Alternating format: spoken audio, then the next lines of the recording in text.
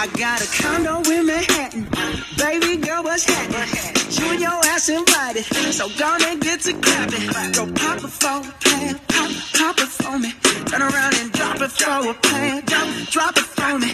I'll rent a beach house in Miami. Wake up with no jammies.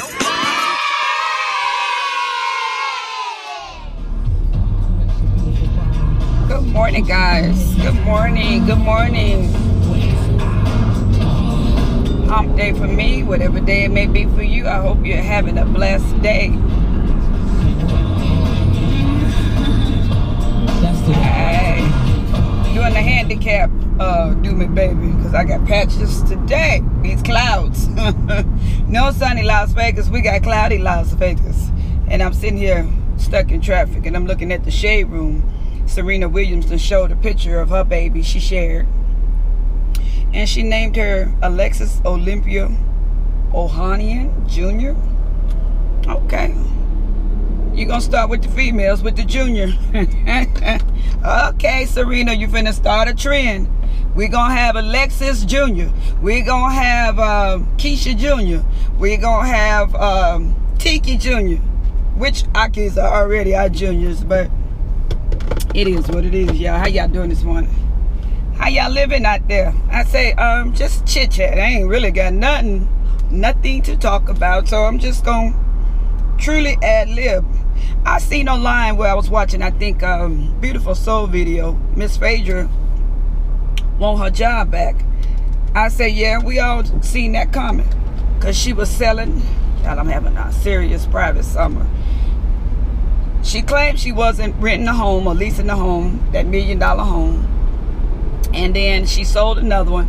I don't know if she had two or three properties, but you know, she invested. So when you need that money, that's when you sell. But uh, they say Miss Phaedra trying to get that job back. And I say, see, sometimes when you're playing a pawn for somebody and you're doing people wrong, and her out of all people should know about karma. Sometimes it come back and bite your ass when you least expect it.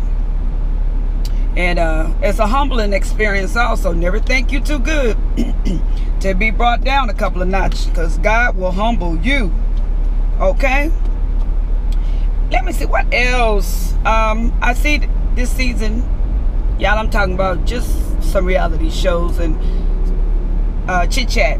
This season, uh, Kenya Moore, I see all the girls are going to go after Kenya. They saying her marriage is fake. And uh, Miss Cynthia has become Nene Leakes' friend again. And it looked like she jumped on the bandwagon for them to come for Kenya. I say, who's Cynthia? I say, don't start feeling yourself, bitch. Don't do it, Cynthia Bailey. You used her and you was her friend while you didn't have nobody to deal with your ass. Kenya kept you popping, okay? And that's my opinion. And I'm sticking with it. Who cares? Because she dating somebody and whoever the person is, uh, Peter came in with AT Alien and they did a video. You couldn't see it. It was messed up. But um, I guess dude is a shyster. I say, and he saying let her find out on her own. That ain't none of your business who she's screwing shit. I don't get it. While you was out there cheating on her and doing everything under the sun that you shouldn't have been doing, it was okay. She divorced your ass and went on about her business. And now you want to warn her about who she dating. If you don't go have a seat under the fuck section, I will punch you myself, okay, Peter? And allegedly he has a show coming on himself, you know, Some dealing about, dealing with his um, Bar One, his sports bar in uh, wherever he at, North Carolina, South Carolina. But uh, it is what it is. I say if Dutchess and anybody else had any sense, when y'all end up being in the same place and y'all basically get kicked off of these reality shows, shit, y'all should get together and do some your damn self. And speaking on Dutchess, I had heard, see what I had heard was she did a diss track on uh, Dusty Caesar Oh God, really? She did a diss track, and uh, I didn't listen to the diss track. Yeah, I'm looking up here at this traffic. I didn't listen to it, but it was on uh, Caesar and I think uh, Sky. See, but everybody had automatically jumped on Sky's side when she was on TV boohooing and crying and talking about how she, you know, she lost her kids and well, no, she gave them up, but we found out that that heifer lost her kids. I said, mm-hmm, another one that got caught lying, okay? I just don't get it. You know what? one thing about the internet and, and the police on the internet, the people, they will investigate your ass. And that's just like what's coming out again about this, um, what's coming out about the Kenneka Jenkins story.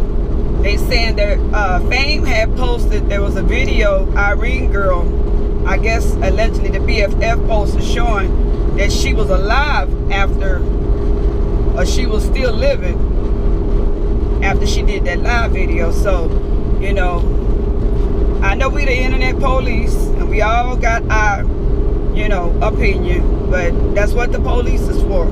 And nine times out of ten, they know what happened. They sit back and they relax. Because a lot of people get on the social media and they get to posting or the police don't want you to know that onto your ass and they get to deleting shit and then that's when they get your ass when you least expect it or they been already went into your um, accounts and i'm like you know myself personally my opinion if they were up to no good i don't think that girl would have been on live Monifa, I think that's the friend name. Everybody talked about Monifa but, uh, you know, as I listened to the story more last night, Monifa called, I think that's the name, the BFF. Y'all, hit me in the comments. I'm not always right. But uh, I think they called her mom and said, I got her keys and her phone and I want to bring you her car. So now, you know, that's that's weird. And then the uh, girl's sister, Kenneka, the one that got killed, her sister was like, bitch, get off of Facebook posting shit and fighting with folks and come help me find my sister. So it was a whole bunch of stuff going on that, you know, as I watched last night that, you know, I didn't see the day before. And each day more and more and more is coming out. And then they got some girl on there. She Sherlock Holmes' wife. She just solved the whole case. But it sounds like what her theory is is not true. You know, we know the hood rat hood rat. The hood rich part where we hanging out with the friends and we doing this, we doing that, you know, but everything ain't the way it seems sometimes. And um, it, it, it sounded like that they went to a party. Uh, they did a little kickback. Young little mama got shit faced, wasted. Kenneka. And uh, I think Monifa, um, I'm thinking the BFF, whatever her name is, left with old boy she wanted to hook up with. And she left the girl there, and the girl was too drunk. Them boys probably ran a train on that girl and was choking her and must have accidentally killed her. That's the only thing I'm thinking about. You know, that's what keep replaying in my head. And they took her down and put her in their freezer. And then the best friend was probably running around looking for the friend because she willingly went down to the police station. I think she just scared. She's just afraid. And uh, believe it or not, it's to come out.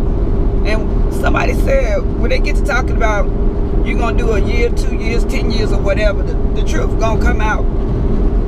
But uh, you guys, it's just a little short chit chat. And I want to say one more thing. Um, when I went to celebrate my children's birthday, before we did the little get together, we all went and ate at Applebee's. Just a little dinner, you know, because I want my children to know I appreciate you guys for every little thing you do because there's a lot of times I can't get up, I can't move around. I have these procedures, you know, these injections in my spine. And my children are really, really good to me. So I wanted to just give them a dinner because their birthdays was September 5th and 6th and then we did a little get together that weekend on the 9th. But make a long story short, y'all, Miss Tikki with a good talking ass. About 8 to 10 of us showed up at Applebee's.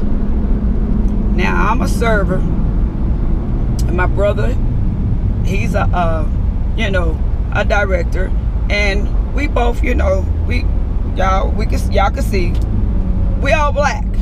So the server, he was looked like uh, biracial and a very nice young man. Long story short, that man gave us service from a scale on a one to ten. It was a barely a four. But I kept trying to, you know, we're not the we're not the group of people that that's gonna run you and mistreat you and and not give you nothing. You know, I'm in the tipping industry. I take care of my people. I don't care where I'm at and what I'm doing. Even for bad service, I still tip this young man a nice tip. So he treated us like shit. I tried to go to him several times and secretly tell him I got two kids there, you know, sing happy birthday to. He kept walking past me, ignoring me. So at the end, my daughter had to run out because she had to go to work. And uh, I said, well, since you won't let me tell you in secret, can you at least do happy birthday to my son? You know, it's the little things in life that makes people really happy. We don't have much, but you know, they're adults, but coming together and singing happy birthday with your family and your friends, sometimes it just take you from when you down here to all the way up there. And we had just went in August for my birthday, and the service was so pleasant.